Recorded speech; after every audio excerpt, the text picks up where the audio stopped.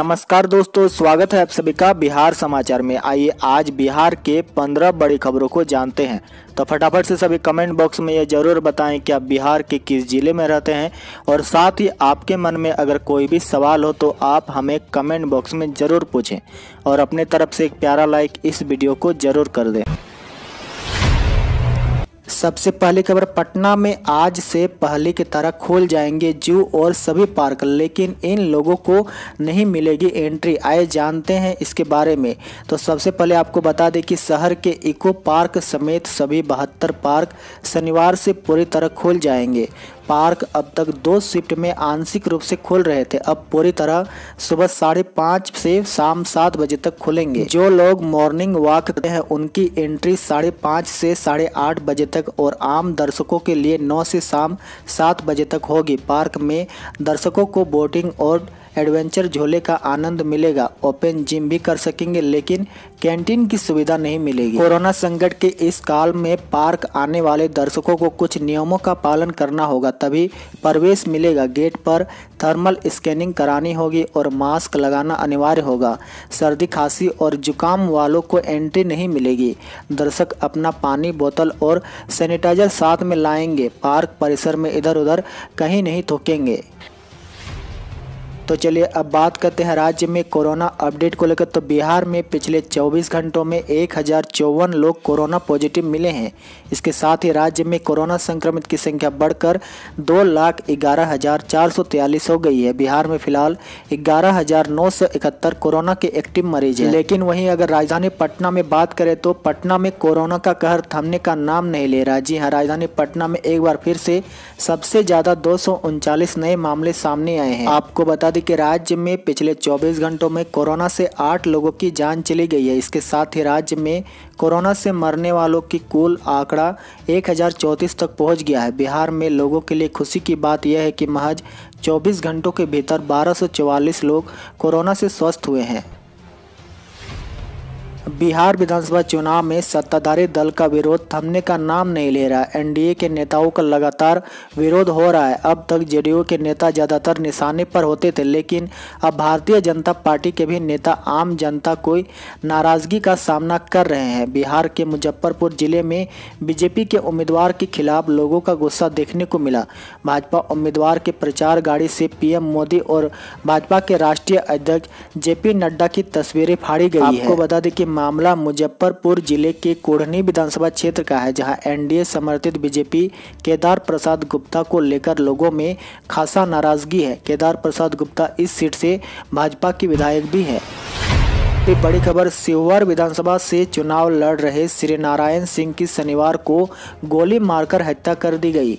Shri Narayan Singh Janata Dal राष्ट्रीयवादी party के ticket पर चुनाव लड़ रहे थे। आरोपियों ने श्री नारायण को तब गोली मारी जब वे चुनाव प्रचार कर रहे थे। पुलिस ने तीन लोगों को गिरफ़्तार भी किया है। बताया जा रहा है कि श्री नारायण पुरनिया इलाके के हथसार में प्रचार के लिए निकले थे। इसी दौरान समर्थक बनकर काफिले में चल रहे बाइक पर सवार दो लोगों ने उन पर गोलियाँ दागी। सीतामढ़ी अस्पताल ले जाते वक्त रास्ते में ही उनकी मृत्यु हो गई। अगली बड़ी खबर, महाराष्ट्र के पूर्व मुख्यमंत्री और बिहार भाजपा के चुनावी प्रभारी देवेंद्र फडणवीस भी कोरोना के चपेट में आ गए हैं। स्वास्थ्य खराब होने के बाद उन्होंने अपनी कोविड जाँच कराई, जिसमें उनकी रिपोर्ट पॉजिटिव आई है। इस बात की जानकारी उन्होंने खुद ट्वीट करके दी है। उन्होंने कहा कि लॉकडाउन लगने के बाद से मैं लगातार काम कर रहा था। अभी तक सभी चीज़ें सही चल रही थी, लेकिन अब लगता है कि जैसे भगवान चाहते हैं कि कुछ दिन अपने काम से आराम ले लूँ। कोविड पॉजिटिव होने के बाद मैं आइसोलेट हो रहा हूँ। डॉक्टरों की सलाह पर दवाइयाँ ले रहा हूँ और अपना इलाज करवा रहा हूँ। बिहार भाजपा ने शनिवार को फिर से अपने आठ नेताओं पर कार्रवाई की है। इन सभी को पार्टी विरोधी गतिविधियों में शामिल होने के आरोप में छः साल के लिए निष्कासित कर दिया गया है। आइए जानते हैं, वे आठ नेताओं के नाम जिसे निष्कासित किया गया है। तो सबसे पहले विजय प्रसाद गुप्ता, जो पूर्व विधायक सुगोली के हैं। अजय कुमार सिंह विधायक रक्सोल के हैं। प्रदीप दास पूर्व विधायक कस्बा से हैं। राघव शरण पांडे विधायक वगहा से हैं। विभाष चंद्र चौधरी पूर्व विधायक बरारी कटिहार से हैं। विश्व मोहन कुमार पूर्व सांसद सुपौल से, किशोर कुमार मुन्ना पूर्व विधायक सुपौल से और अंत में राकेश ओझा शाहपुर संयोजक क्रीड़ा प्रकोष्ठ से। बिहार के मुख्यमंत्री नीतीश कुमार को एक बार फिर से अपनी चुनावी सभा में विरोध का सामना करना पड़ा। कल वे बेगूसराय के लेगड़ा में एक चुनावी सभा को संबोधित कर रहे थे। संबोधन खत्म होने के वक्त भीड़ के बीच से कुछ लोग तेजस्वी यादव का नाम लेते हुए नारेबाजी करने लगे। यह सुनते ही नीतीश कुमार भड़क गए और उन्हें संबोधित करते हुए कहा कि तुम लोग वोट मत देना। उन्होंने कहा कि तुम पंद्रह बीस लोग हो जो विरोध कर रहे हो। देख लो, यहाँ पर हज़ारों आदमी हैं जिसके लिए हंगामा कर रहे हो। उनको यहाँ लोग ठीक कर देंगे। आपको बता दें कि नीतीश कुमार के साथ यह पहली बार नहीं हो रहा। इससे पहले जब वे 21 अक्टूबर को परसा में चुनावी सभा को संबोधित कर रहे थे, तब भी वहाँ लालू यादव जिंदाबाद के नारे लगे थे। इसके जवाब में उन्होंने नारे लगा रहे लोगों से कहा, चुप रहिए, आप जिस पार्टी से आए हैं, उसका हाल बुरा होने वाला है। बिहार विधानसभा चुनाव 2020 के मद्देनज़र भारतीय जनता पार्टी के चुनावी घोषणा पत्र में मुफ़्त कोविड टीके के वादे को लेकर विपक्षी दलों द्वारा की जा रही आलोचना के बीच वित्त मंत्री निर्मला सीतारमन ने शनिवार को बड़ा बयान दिया है। निर्मला सीतारमन ने कहा कि यह घोषणा बिल्कुल ठीक है और पार्टी इस बात की ऐलान कर सकती है कि वह सत्ता में आने पर क्या करना चाहती है। वित्त मंत्री निर्मला सीतारमन ने को बिहार विधानसभा चुनाव के लिए भारतीय जनता पार्टी का घोषणा घोषणा पत्र जारी किया था।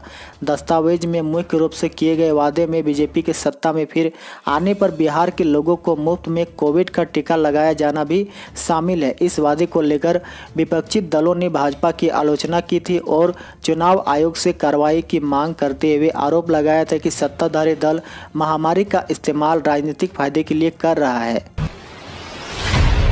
तो वहीं दूसरी ओर बिहार में फ्री कोरोना वैक्सीन दिए जाने की घोषणा के बाद शिवसेना ने अपने मुख्य पत्र सामना में कहा है कि बिहार को कोरोना वैक्सीन मिलनी चाहिए, लेकिन बाकी राज्य पाकिस्तान में नहीं है। बिहार चुनाव के मद्देनज़र भाजपा की घोषणा पर शनिवार के संपादकीय में शिवसेना ने कहा कि बिहार को कोरोना का टीका मिलना चाहिए, लेकिन अन्य राज्य पाकिस्तान में है। बिहार में बीजेपी के फ्री वैक्सीन के चुनावी वादे की आलोचना करते हुए संपादकीय में पूछा गया कि क्या देश में गैर बीजेपी शासित राज्यों को अब रूसी राष्ट्रपति वाल्मीदिपिर पुतिन से कोरोना का टीका लगाने के लिए कहना चाहिए? वहीं इससे पहले शिवसेना नेता संजय राउत ने कहा था कि जब हम बच्चे थे तब एक घोषणा थी। तुम मुझे खून दो, मैं तुम्हें आज़ादी दूँगा। और अब एक नई घोषणा देख रहा हूँ कि तुम मुझे वोट दो, मैं तुम्हें वैक्सीन दूँगा।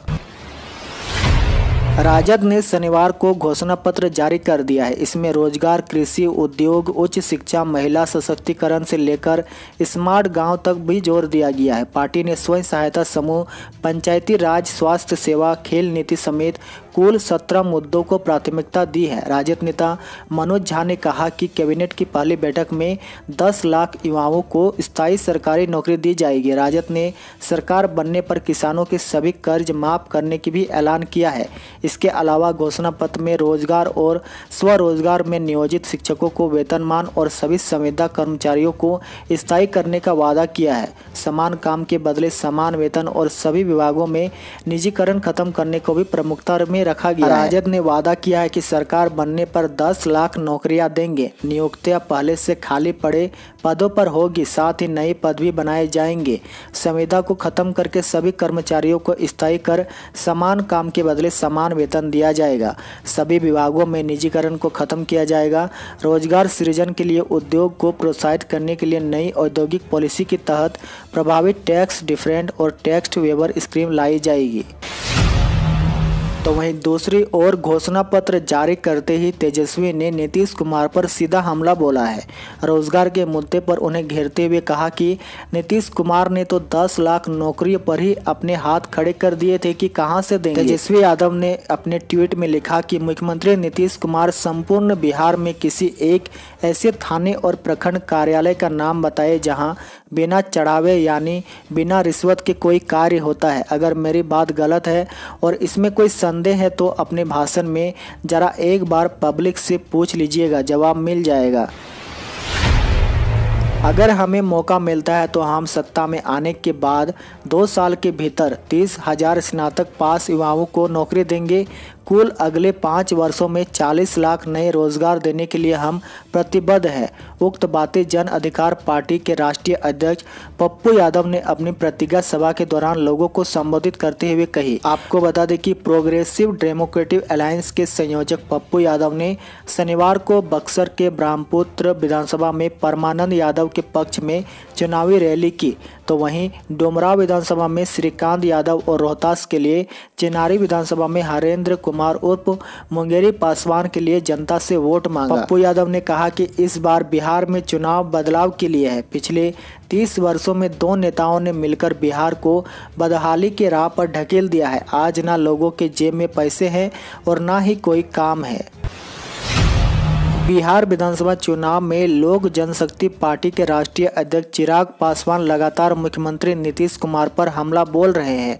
शनिवार सुबह चिराग पासवान ने बिहार में शराब बंद के मुद्दे पर सीएम नीतीश को निशाने पर लिया। उन्होंने ट्वीट करके लिखा कि शराब बंदी के नाम पर बिहारियों को तस्कर बनाया जा रहा है। बिहार के माताएँ बहनें अपने को तस्कर बनते नहीं देखना चाहती है। बिहार के मुख्यमंत्री के संग सभी मंत्रियों को पता है कि बिहार रोज़गार के अभाव में शराब तस्करी के तरफ़ बढ़ रहा है, लेकिन सब के सबको मानो साफ़ सूंघ लिया है। कांग्रेस के पूर्व राष्ट्रीय अध्यक्ष राहुल गांधी ने बीजेपी पर हमला करते हुए कहा कि केंद्र में छः साल से नरेंद्र मोदी की सरकार है और हम बिहार में पंद्रह साल से नीतीश कुमार सत्ता में है। दोनों ने बड़े सपने दिखाए, लेकिन युवाओं को रोज़गार देने और स्वस्थ सेवा दुरुस्त करने के लिए काम नहीं किया। मोदी जी ने कहा कि 22 दिन में हम कोरोना को मिटा देंगे, लेकिन थाली बजाने और मोबाइल की लाइट जलाने से कोरोना नहीं भागने वाला है। कोरोना काल में मोदी ने यह नहीं सोचा कि बिहार के मजदूरों को खाना पानी कैसे मिलेगा। घर वापसी के लिए कोई संसाधन नहीं दिया। प्रधानमंत्री, हमें एक दो दिन दे देते तो लाखों करोड़ों मजदूरों को घर पहुँचा दिया होता।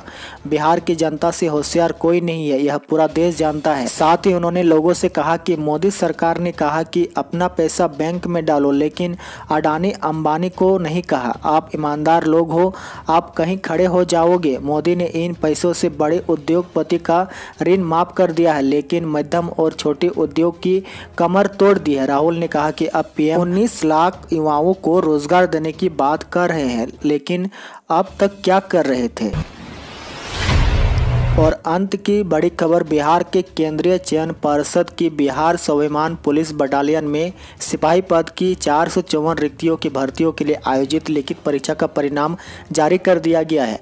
सीबीएसई बिहार पुलिस कांस्टेबल भर्ती 2020 का यह रिज़ल्ट अपनाने आधारित वेबसाइट सी पर जारी किया गया है। बिहार पुलिस कांस्टेबल भर्ती की इस लिखित परीक्षा में बारह अभ्यर्थियों ने भाग लिया था, जिसमें नौ हज़ार नौ सौ पंद्रह अभ्यर्थियों ने न्यूनतम योग्यता अंक हासिल करने में सफलता प्राप्त की है। लेकिन भर्ती नियमानुसार सफल अभ्यर्थियों में से रिक्तियों के पाँच गुना बाईस अभ्यर्थियों को ही पीटी के लिए चुना गया है। तो इसी के साथ ही आज के समाचार में इतना ही। डेली बिहार की बड़ी खबरों को जानने के लिए आप बिहारी मीडिया को ज़रूर सब्सक्राइब